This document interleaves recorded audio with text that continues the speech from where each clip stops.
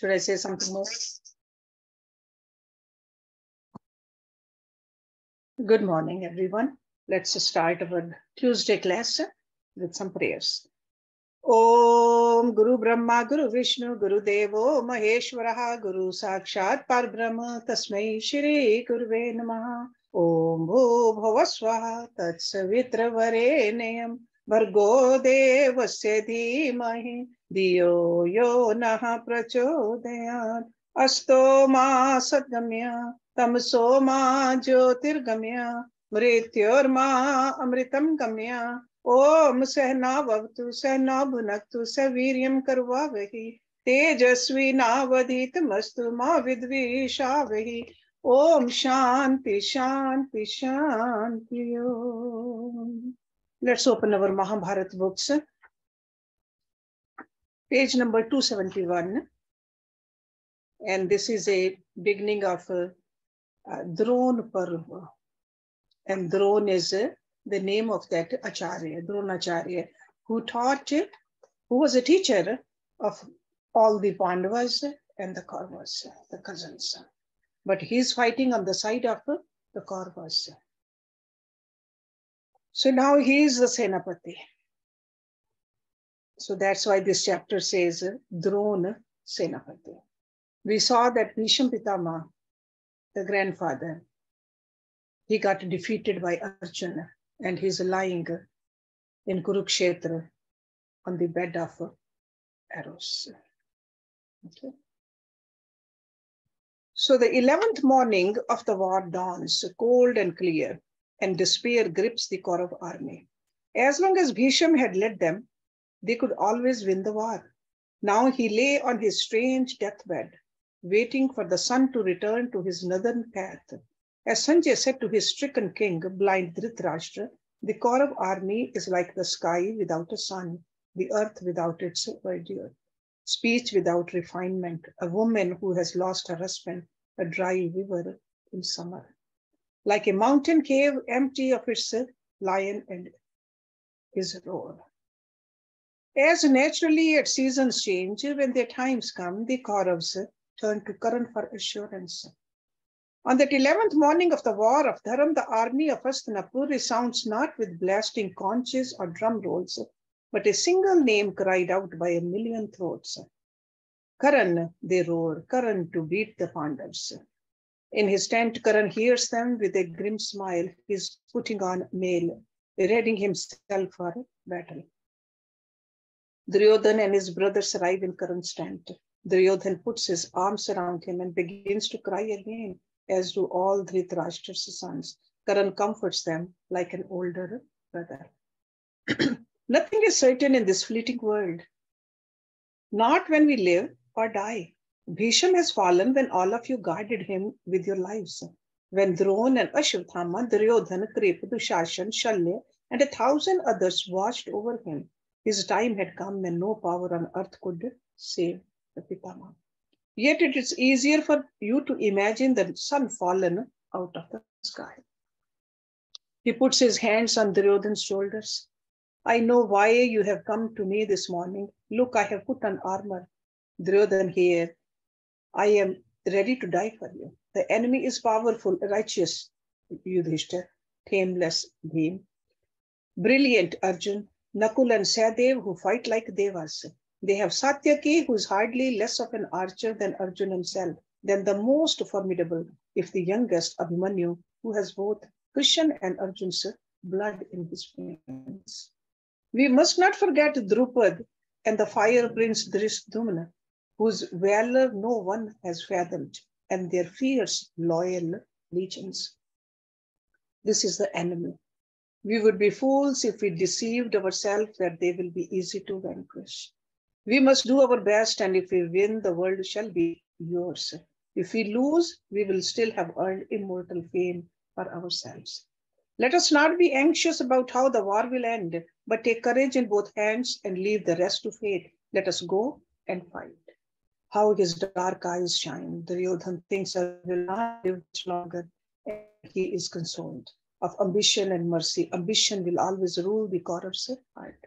Duryodhan returns to his own tent Karan goes again to his dying grandsire. Now he comes as a warrior in his chariot, wearing mail and armed. He alights and approaches Bhishma. Folding his hands, he says quietly, I mean to follow you, Pitama. You have laid your life down for Duryodhan, and so will I. Bless me again. He kneels beside Bhisham. Bhisham takes his hand. You are Duryodhan's only hope. Fight as well as you can. That you must do in Kshatriya Dharam. Karan, I have thought long about you, and I have no doubt you are the greatest of all my grandsons. He lowers his voice. Let your death be as noble as you are. I bless you that your fame will live forever after you die, and it shall be blemishless. And when you fall, Kurukshetra will be like a mother's lap to you. Men of generations too distant to dream of, men in the heart of the Kali Yuga will name their sons after you. I bless you that you will die with a smile on your lips and joy in your heart. Noble Karan, after everything you have endured, you will never be born again into this world of sorrow. You will have moksha, my child. Bhisham lays a loving palm on Karan's head. Karan takes the dust from his Pitama's feet and walks back to his chariot. Splendid as his father, Karan rides up to the Kaurav army. They see him like a sun risen for them after the fractured night. A huge cheer goes up, echoing over Kurukshetra. Karan, great Karan, for victory. Karan is with us now. How long will the Pandavas live? A smile on his drawn face, Duryodhan welcomes his friend, taking his hands. You tell me what we should do next. My mind is dark with grief and I cannot reason clearly. We must have a Senapati for our army, but I can't think who it must be. Adroitly, he leaves the decision to Karan. Says, All these Kshatriyas are fit for the charge. Each is the other's fear, but if you choose one, the others will feel slighted. Yet, is there a warrior among us who towers over the rest in both age and experience? Only he can command respect from us all. Duryodhan, let Drone be your Senapati. Duryodhan goes to his master. Acharya, you have been as close to us as our Pitama. It is only just that his mental passes to you. I beg you, assume command of the army of Hastinapur. Drone, the Brahman, is pleased no end. He says, I will lead your army as best I can. Duryodhan calls for holy water and Drone is consecrated Senapati of the Kaurav army. When Karan stands beside the Acharya, the soldiers feel a surge of hope. They say Karan is a better archer than Arjun. He can win this war for us. Remember the tournament in Hastinapur. He showed he was the better bowman. He has no love for the Pandavas, as Bhisham did. He will kill them for Duryodhan. Drone deploys his soldiers in the Shakat vyuh phalanx of the card, while Drishtadhyuman forms the Kraunch vyuh once more. The Pandavas spear across Kurukshetra at some excitement among the Kaurav legions. They see Karan, bright as a god, take the field for the first time. He is as pure, as radiant as the sun springing from the dragon Rahu's mouth. Before he rides to the van of his army, Drone says to Duryodhan, I will fight all the Pandavas, but there is one man I will not face. One Kshatriya you must shield me from, for he was born to kill me. Drishtadhyuman, my lord, keep Drupad's fire prince away from me if you want me to stay alive. The Guru smiles at his Shishya. I will not pretend I am not delighted to be your Senapati. I want to do something exceptional for you to show my gratitude.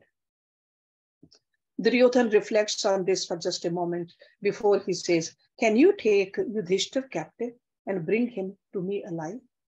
Drone's eyes flash. If you mean to kill him, let it be in battle, not by deceit. Duryodhan laughs. Oh no, Acharya. Would Arjun spare our lives for an hour if I did that? And even if we kill all the Pandavas, Krishna will burn us with his chakra. No. If you bring Yudhishthir to me, I will challenge him to another game of dice he will lose, and we can send him and his brothers to the jungle again and end this war. Drone considers this and likes it even less than the war, but he must keep the word he has given. If you can lure Arjun away, I will bring Yudhishthir to you. Duryodhana knows how fond his is of the Pandavas. To hold him to his word, he has it proclaimed to their army that Drone will take Yudhishthir alive. The news travels quickly to the Pandavas. Arjun cries in fury, Have the great sunk so low? But we shall see how they take my brother when I won't leave his side for a moment. Next chapter, the 11th day. The conches boom again. Bhisham shuts his eyes and drifts away on a vision of another world. The Kaurav army whirls into battle, a great wheel of men. The Pandav's Kraunch swoops to stop its a spinning advance. Sahadev, who has sworn to kill Shakuni, meets him in a duel, storming up at the head of the Pandav force today. Drishtadhyuman confronts Drone before any other Kaurav warrior can intervene. Duryodhan's brother Vimitsati rides straight at Bhim, but he does not take him unawares. With a roar, Bhim charges Vimiswati, killing his horses, shattering his chariot, and the Kaurava flees on foot. Bhurishusa faces Shikhandi. To Shikhandi, this is the first day of a new life. Nothing remains of Amba's steaming memories of her single obsession. Serenity sits on the Panchal prince's heart, son of a great father that he is. He gives Bhurish a scorching fight, turning the heads of the soldiers around them. Some way off, black Ghatotkach and pale green-eyed Alambush are locked in a battle of sorcery. They fight with Maya, crying chillingly at each other in the tongue of wild Rakshas. Dark curses that no one else can understand. The Avanti brothers, Vind and Anuvind, meet Chekitan in a fervid duel. Blood flies in the day's young sun and the spotless sky echoes with the screams of those cut down. After 10 days of war, a skin of dry blood covers the Kurukshetra and fresh crimson splashes brightly and onto this russet patina. Virat is the first Pandav warrior to face Karan in battle. Holding their breath, the Kaurav soldiers watch to see if their new hero is indeed the archer they have heard he is. He exceeds all their expectations. His hands are like light. His aim is unerring and he is more fluent than Arjun. It seems he only looks at an enemy and arrows flare from his bow by themselves. A deep roar of excitement rises from the Kaurav ranks.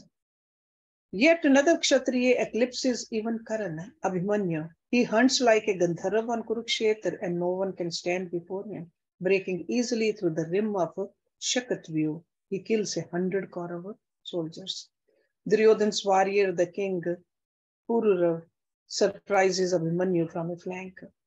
Smashing his bow, Abhimanyu draws his sword and leaps down from his chariot, seizing Purav by his hair. Arjun's son lifts him into the air and flings him down to the ground. Sword in hand, Jayadratha comes to challenge Abhimanyu. The prince is eager to show off his sword skills on the ground between their two chariots. They hew at each other, their weapons ringing together in an sense of sparks. Jayadratha is a fine swordsman, but though he has twice Abhimanyu's bulk, the slender prince bears him back with the dazzling speed. He breaks Jayadratha's blade, that king runs back to his chariot. Word spread of Abhimanyu's havoc. Back in his chariot, the prince picks up his bow again, and a rash of arrows leaps from it. One Kaurav warrior matches Abhimanyu shaft for shaft. Shalya harries him. They fight a blinding duel. Shalya invokes an astra, burning with secret fires. The missile flames at Abhimanyu. Arjun's son catches it in his hands. In a wink, Abhimanyu fits it to his bowstrings and shoots it back at Shalya. The astra explodes, killing Shalya's Sarthi, consuming his chariot and flinging him out. Unhurt but dazed and furious, Shalya seizes up a mace and runs at Abhimanyu. The slight youth cannot hope to match the massive Shalya with his weapon. Yet honor demands that he fight. As Abhimanyu hefts his own gada, another Kshatriya arrives between Shalya and him, roaring the challenge. It is Bhim swinging his mace. Shalya turns away from Abhimanyu to the equal opponent. Like a tiger and an elephant, they circle each other the soldiers around them step back to give them room. Shalya and Bhim battle like beasts out of a mythic wilderness. Their maces clash like earthquakes, and storms of blue sparks fly around them. And they look like trees covered by fireflies at twilight. For an hour they fight exhilaratingly, neither gives an inch, smashing out wildly and also with superb control. Until with the loudest roar of the day, Bhim crashes such a blow on Shalya's mace that the king's weapon ignites in his hands. Bhim's next blow takes Shalya on his head. Shalya's knees buckle. Out of nowhere, Kritvarman appears, sweeps the fallen Kshatriya into his chariot and lifts away. Lusty cheering breaks out among the Pandav soldiers. The moral victory has been theirs, and Shalya has escaped death by a whisker. Karan's son, Vrishsen, takes the field with his father today, and he is a sudden comet appeared on Kurukshetra. Nakul's son, Satanika, faces Vrishsen. He can hardly match Karan's ferocious boy, seeing him in mortal danger. Draupadi's other sons come flying to their brother's rescue. Like five sun flares, they attack Vrishsen, beating him back. Then Ashwatthama appears at his side, and together those two hold the Pandav Putras at bay. But how graceful the five are, how handsome. This 11th day, the Kauravas have lost many more soldiers than the Pandavas. No Bhisham holds up Pandu's sons anymore and Bhim, Abhimanyu, Satyaki, Drishtadhyuman, and Arjun devastated the enemy. To stop them, somehow to turn the tide on his first day as Senapati of Hastinapur's army, Drona thinks he must take Yudhishthira captive. He sees the eldest Pandav lighting on his own, the fighting on his own, with Arjun nowhere near him. Drona cries to his Sarthi, right at the white parasol, go like the wind. They fly at Yudhishthir's chariot, drones, bow streams five fires, and no uh, army soldiers dare stand before them. In a moment, they are upon Yudhishthir. The Pandav turns to fight, but he is hardly a match for Drona with surprise on his side. The Acharya breaks his bow. He rides at Yudhishthir's chariot, but Drishtadhyuman, who misses nothing, flashes between them. Arrows fly like locusts between the chariots. With wonderful skill and some fear as well, Drishtadhyuman contains Drona as a the sea. Shikhandi and Utmanuj are at hand. Drona beats them back in the frenzy that takes him. Draupadi's sons try to intervene, but they cannot stand even a few moments against the raging Acharya. He is possessed. His students see him like this for the first time ever. Sees the peril to Yudhishthir and fights desperately. But he and his warriors are being pushed back inexorably, farther and farther and farther from the Pandav camp. The Pandav soldiers panic. Someone cries, the war is lost. No one can stop Drona. He will take Yudhishthir today. Drona's chariot comes nearer and Yudhishthir waits helplessly to be killed or taken by his master. Suddenly a cry splits the arrow thick air. The rumble of a great chariot drowns every other noise. Pale Gandharva horses seem to fly above the, above the ground, their reins held taut in the dark hands of an avatar. The shimmering chariot appears out of the dusk and at the last moment darts between Yudhishthir and Drona. In its wake, it leaves a thousand dead. So in the gloom, it seems like some uncanny ship fording a lake of blood. Arjun falls on Drona like an army. In Arjun's mind, turbulent images rise. First of a day when a stranger fetched a little wit out of an old well for some young princess. Then of Bhisham fallen just yesterday. And finally another day, 14 years ago, when he and his brothers lost everything. How could his Acharya be an accomplished to such treachery. After all that had happened, how could he now stoop to this? In that moment, Arjun loses a reverence he has nurtured over a lifetime. Drona had been brought, bought with position, and he falls in his Shishya's eyes. Blind with anger and even more with grief, Arjun flies at his master who taught him so much of what he knows. Drona cannot face him. The Pandav shames his guru on Kurukshetra, driving him off like some common soldier. The Acharya's opportunity to take Yudhishthira is lost. Worse, he knows he has lost Arjun's respect. The sun sets in sorrow over the field of the dead. Conches sound to call the armies back to their camps. Though Drona has fought as never before, the eleventh day also belongs to the Pandavas, if narrowly. Next chapter, Susharma. Duryodhan is frantic. In front of the other kings and his brothers, he says to Drona, You asked me if you could do something exceptional for me and I told you to take Yudhishthir alive. You had every chance to take him today, but Acharya, you didn't keep your word. Drona bristles at the censure. He says coldly, I said I would take Yudhishthir if Arjun was far from him. The task of keeping Arjun away was yours. If Arjun had not descended on me, Yudhishthir would be here now, bound hand and foot. Susharam says, we Trigraths have old enemy, enmity with Arjun. All these days we have tried to kill him, but his blue sarthi is as elusive as the wind in the trees. Tomorrow we will challenge Arjun as soon as battle begins and lure him away to the south of the field. There, either he or we will die. Drona should have all the time he needs to take Yudhishthira. Duryodhan cries, an excellent plan. And if you can kill Arjun while the Acharya captures Yudhishthir, not even Krishna will deny us victory.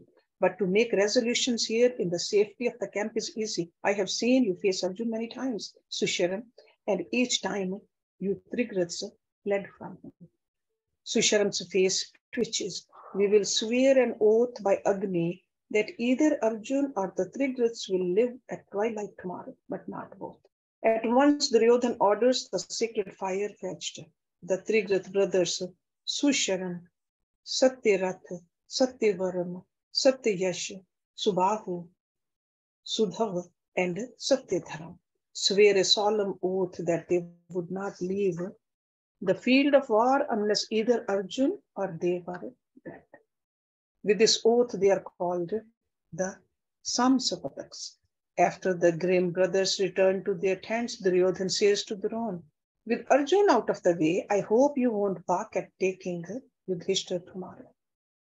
Drona says woodenly, if Arjun is kept away, I will bring Yudhishthir to you alive. He also walks out of the Duryodhan's tent, disgusted at what noble war has come to, at what he himself has fallen to. Duryodhan smiles at Shakuni, Dushasha, and Karan. Dawn of the twelfth day, uh, Drona founds his legions in the Garuda vyuh, and across the field, Drishtadhyuman has chosen the Chandrakala, the phalanx of the crescent moon. Battle begins, the two forces fall at each other, arrows cover the sky, fingers of orange flames in the early light. Swords and maces gleam in the morning, and again Bhisham on his arrow bed hears the roar and the scream of the slayer and the slain. Arjun sees Susharam and his brothers with their men at the southern winged tip of the Kaurav eagle. Usually they would come from the rear as the day's battle grew. He sees all their burning gazes fixed just on him. He sees Duryodhan staring intently at the Trigraths and guesses what is afoot. Arjun says to Yudhishthir, the Trigraths mean to challenge me again and I cannot refuse to fight them. As he speaks, Susharam hails him harshly across the field. Arjun, come and fight us. We have sworn by Agni that today either you or we, but not both, will live to see the sunset. We are the Sampatats, Arjun, and we challenge you. Yudhishthir is alarmed. You must stay beside me, Arjun. I don't care to be taken by Drona. I cannot refuse Kshatriya's challenge, but here is Satyajit. Let him be your custodian today. As long as he has life in him, no or anyone will come near you. But if he should be killed, Yudhishthir promise me, my brother, that you will be a coward for all our sakes and flee. Drona will not take me, Arjun, answers Susharam's challenge. Let this be the Trigrath's last day on earth. Bless me, cries Arjun. leaving Yudhishthir in the care of Satyajit, who is Drupad's brother and no less a Kshatriya than him. Arjun says to Krishna, Come, my lord, let us ride at the three Trigrats. Next chapter, Bhagdat's elephant. An army by themselves, the Trigrats have formed a crescent of their own beyond the southern wingtip of the Garuda vyuh. Arjun rides alone against the legion of thousands, like a lion at the vast herd of deer. Duryodhan sees Arjun's white horses flying like foam across a wave and cries to Drona. Our plan is working. Arjun rides at Susham's men. Take Yudhishthir, Acharya, no one can stop you now. Susham has brought his legion to the south, a fair way beyond the main Kaurav army. From here, Arjun will not be able to ride back in a hurry to his brother's side. They are so far that he will not be able to hear a call for help. As they draw near, Arjun turns to Krishna. Do you see the smiles on their savage faces? Are they so glad I will send them to hell that they smile? Arjun lifts his Devdatta, adorned with gold, and blows a deep note on it. For a moment, the Trigrit force stands paralyzed. Their horses' eyes bulge wildly, and the beasts pass dung in fear. Then a thousand conches bass answers his call. A thousand arrows flash at his chariot, obscuring the face of the sun. Arjun replies with an astra that spumes up a Khalid fireball, then falls on the enemy in a hundred burning shafts. Every arrow claims a life. The hundred Trigrat soldiers are immolated. The Trigrats have sworn a solemn vow, and they shoot back, bank upon bank of dark arrows at Krishna and Arjun, falling on them like a swarms of bees upon a flowering tree, engulfing them because of Krishna's chariotery and the white horse's speed. The Pandav's chariot is a hard target to find. Their finer marksman's barbs Arjun cuts down with his own fire. One of the Trigrat's bravest Kshatriyas, Subahu of the gifted hands, rides out of the throng to face Arjun alone. He is an excellent man and wounds both Krishna and Arjun. Roaring Arjun breaks the bow in Subahu's hand, then severs the hand from its wrist in a red font. Screaming in horror, Subahu flees. Susharam himself dashes forward with ten of his truest archers. But Arjun is a warrior of another ilk, as in a nightmare. Susharm sees Sudhanav's head cut from his neck by the Pandav's golden winged arrow, its scream stilled on its lips. Turning, he sees the other nine around him have met the same fate in the space of wish. Arjun fights as if from another dimension where he has all the time he needs to shoot at the enemy while he is protected from their arrows. By a threshold they cannot breach, he seems to defy nature. His one to their thousand is more than they can subdue. He burns them at will. The common Trigrat soldiers panic and want to run back to the main Kaurav army. Susharam roars at them, Stand and fight, cowards. You have sworn to kill or to be killed. I will shoot you down myself if you run and he sends a few warning arrows after the deserters. So they scramble back to the crescent. Susharam cries, Shoot all at once, cover them in a night of arrows. The wind whistles towards Arjun from behind the Trigrat legion, and suddenly a dark cloud of arrows drifts at him as if at midday an unnatural night has fallen over Kurukshetra. It is an endless cloud. The Trigrats now shoot in waves and in terror so they can hide in the darkness from the Pandav. Such an impenetrable darkness, Arjun can hardly see his hands. In fury, he summons his first greater astra, the weapon of Tvashtar. He loses that missile, then blows a rolling blast on the Devdatta. The Vashtar's astra is a weapon of hallucinations. Every Trigrat soldier sees the Pandav beside him. They fall on each other, thinking they are attacking Arjun. Thousands die in a surreal confusion, cut down by their comrades. Those that are not killed, Arjun picks off. Yet the darkness persists around the white chariot. For the Trigrath brothers themselves are masters of Maya and they are not deluded by the Astra. The heavy darkness afflicts Krishna at the chariot head. He feels exhausted, so he can hardly hold the reins in his hands. His body is drenched in sweat. The blindness films his eyes. In that eerie night, Krishna cries, Arjun, where are you? I cannot see you in this accursed blackness. Are you still alive, Arjun? Answer me. A roar of anger answers the avatar. Dimly, Krishna hears the Kshatriya behind him invoke the Vaivastra, the wind's weapon. He sees an arrow glowing in the sinister dark, a shaft charged with a thousand storms. Next moment, the golden arrow flashes out in the unnatural night, and a hurricane sweeps Kurukshetra. Like the sun, it dissolves the darkness of the Trigrath cloud. It also blows away whole columns of soldiers as they are dry leaves of summer. The gale of the Vaiva Astra blows the Trigraths across the plain of war. Beautiful, they seem, like lights of birds. His enemy hopelessly scattered for the moment, Arjun cries to Krishna, I fear the Acharya. We must ride back to Yudhishthira. Meanwhile, as soon as Drona saw Arjun ride against Susharma, he makes straight for Yudhishthira. Drona knows the Trigraths will not hold Arjun for long. Drishtadhyuman is beside Yudhishthira. The Pandav cries to Drupad's son, here comes Drona. He must not take me. The fire prince laughs. I am beside you, my lord, and my father's army is here with Satyajit. Drona can promise Duryodhan anything he likes, but he will not keep his word. We will make him pay for it. Drona arrives at the outer ring of the warriors who guard Yudhishthir and sees Drishtadhyuman riding at him. He swerves away from the encounter. Drupad's army surrounds Drona shooting at him from every side. Durmukh, the ugly Kaurav, one of the Duryodhan's fiercest brothers, rides at Drishtadhyuman. Drishtadhyuman fights him and also shoots smoking shafts at Drona. Durmukh fights as if for his life today and contains Drishtadhyuman. He loses a renitent Astra at Drishtadhyuman. For a moment, Drupad's army is dazzled. Seeing his chance, Drona flits through the protective ring.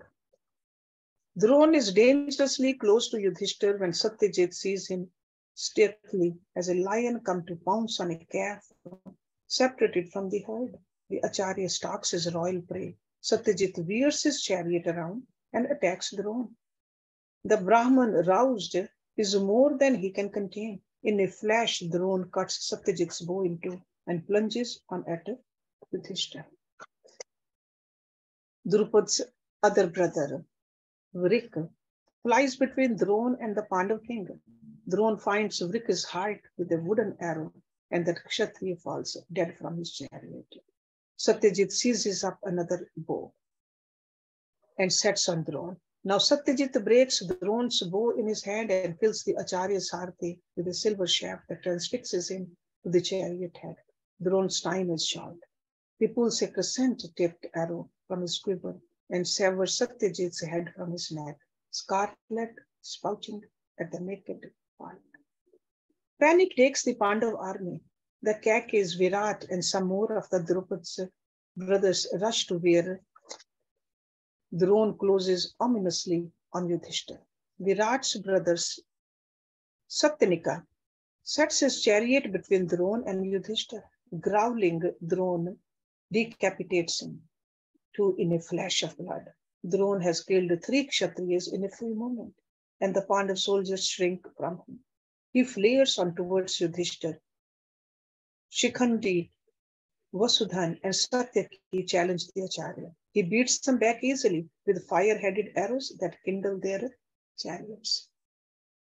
Yet the few moments for which the three held Drona up are fateful. Yudhishthir leaps nimbly from his chariot he mounts his swiftest horse he can find and flees the battle. When Drona realizes his quarry has escaped, it is too late for him to give chase. He turns on the Pandav army around him and they feel his wrath. Today, Drona fights as if to prove that he is more than Bhisham's equal. There is a bloodbath again on Kurukshetra. more copious than any before. Many of the Drupad's brothers and Drishtadhyuman stormed back to fight Drona. The old master, his white hair flying in the wind of death that blows on that field, is stainless. He kills thousands, their blood falling like rain upon the caked earth. Drona finds the prince Suchitra's heart with a serpentine marriage. All around, Pandav soldiers cry, kill Drona, kill Drona, or the war is lost. Who can kill the Acharya? In a brief hour alone, he routs all the Pandav army. A way of Duryodhan stands with Karan at the heart of the Kaurav legions, which have hardly any fighting to do for the slaughter Drona takes to the enemy. His eyes shining, Duryodhan cries to Karan, Look at him, scatter them. Drishtadhyuman and the rest flee from him. Look at Bhim run. He roars with laughter. The Pandavas will forget their dreams of a kingdom. They will hardly hope to live through the day. But with the que- queerest look at his eye, Karan replies, Don't belittle your enemy too quickly. Duryodhan, these are Kshatriyas. They will not be beaten so easily. Look where Bhim comes to fight. His eyes red as plums. And look at the rest streaming back after him. We must ride to the chariot. Is in danger. Duryodhan glances sharply at his friend, startled at the warmth in his voice for the Pandavas. Then he sees Drona surrounded and rides to his Senapati with Karan and some of his brothers. A sharp battle breaks out. Nakul and Sahadev are twins incarnations of death. Behind them, Draupadi's sons are implacable. And away to the right, Abhimanyu is the most terrible of all. The Pandavas fight in great heart after Yudhishthira escapes Rome. Farther away to the left of Abhimanyu, game, elemental as his airy father, is among Duryodhan's elephants, tormenting them with arrows, smashing them down with his mace, as is commonplace for him by now. Then to avenge all his kind that Bhim slew comes a white beast, a titan among elephants. Bhagdatsa Supratik bears down on the son of the wind. Like Indra mounted on Airavat comes that ancient mountain demon, Narkasur's son, and Airavat's son, Supratik charges Bhim's chariot. The Pandav army parts like the sky for a dev, soldiers hapless enough to come in his way. He tramples as if they were hardly there at all, enjoying himself among Duryodhan's lesser beasts. Bhim does not see Supratik until the immense creature is upon him. With a shrill scream at the sight of the corpses of the other elephants, Bhim has felled. Supratik lifts a gigantic foot and brings it down thunderously on Bhim's chariot. The rath is smashed, the horses bolt, winning. The Sarthi Vishok is pulp, and Bhim himself nowhere to be seen. Supratik raises his pale trunk and trumpets his triumph. The sound rings across Kurukshetra. A cry of anguish goes up from the Pandav soldiers. Supratik has killed Bhim. The Pandav, meanwhile, is under the Macedons, dazed but unhurt. Sensing him there, the beast begins to settle on its stomach to crush him as its hilly bulk descends on him. Bhim, who knows something about elephants from his boyhood, begins to rub its belly furiously with his hands. Supratik cannot resist this. For a moment, all the rage flies out of him, and he basks in the sweet tickling. In a trice, Bhim escapes between his legs and runs for his life. Hearing the awful cry that Bhim was dead, Yudhishthir flies back into battle with the army. Like the god of wrath, he comes, bow singing. The lord of the the Sharans comes with Yudhishthir, bringing his great-hearted elephant, which stood up so bravely to Supratik. But Bhagdat and his beast uh, are denizens of a lofty realm that borders Devlok, and Yudhishthir's most ferocious volleys fall away from them like raindrops. Bhagdat is an endless font of all kinds of mysteries, some common, others sorcerous. Columns of men he burns up in an eye flash with blazing javelins that explode with enormous violence. There are hypnotic arrows full of haunting music, which lulls Yudhishthir's soldiers into dreams. They stand stupefied, forgetting where they are, and are easy picking for the Kaurava archers. Satyaki rides against the lord of Pragjyotish people. The Yadav covers elephant and rider in a hum of arrows like dark waves. Supratik charges Satyaki's chariot and once more smashes it in splinters with a stamp. Satyaki leaps out just in time. But another roar shakes the field and Bhim returns to face the white elephant. He fetches Supratik a staggering blow with his mace. Quick as anything, the creature darts out its trunk, seizes Bhim and lifts him high above its head. The elephant is about to dash Bhim on the ground. When with great presence of mind, Bhim stabs its soft trunk with an arrowhead. The animal screams and loses, loosens his grip for an instant, which is time enough for Bhim to wriggle free and leap down. Supratik lifts a leg wider than the bole of a tree to stomp on him. Bhim darts under the creature's belly again and stabs him from below. It runs round and round in a fever, but cannot find its tormentor. Giving up, Supratik sees Abhimanyu's chariot before him and charges it. Bhim leaps out from the, between its legs, but Abhimanyu is not quick enough to pull his horses out of Supratik's way. The white giant crushes his chariot, and the prince himself jumps free at the last moment. It is an unusual battle being fought on Kurukshetra, the Pandav army against Supratik, the elephant. The elephant surely has the better of it. He keeps the enemy army at bay, crushing so many chariots, trampling any man, any men who come in his way, holding up Bhim while Bhagdat on his neck shows death all around him in a scarlet flurry. Panic grips the Pandavas, and their soldiers' cries ring plaintively across Kurukshetra. And this will continue in the next chapter also. And an ancient and his waist. So we look that look at that next week. Let's end this class with this uh, mantra. Om Purnamada Purnamidam Purnat Purnamudachyate Purnasya Purnamadai Purnameva Vashishyate Om Shanti Shanti Shanti Thank you very much.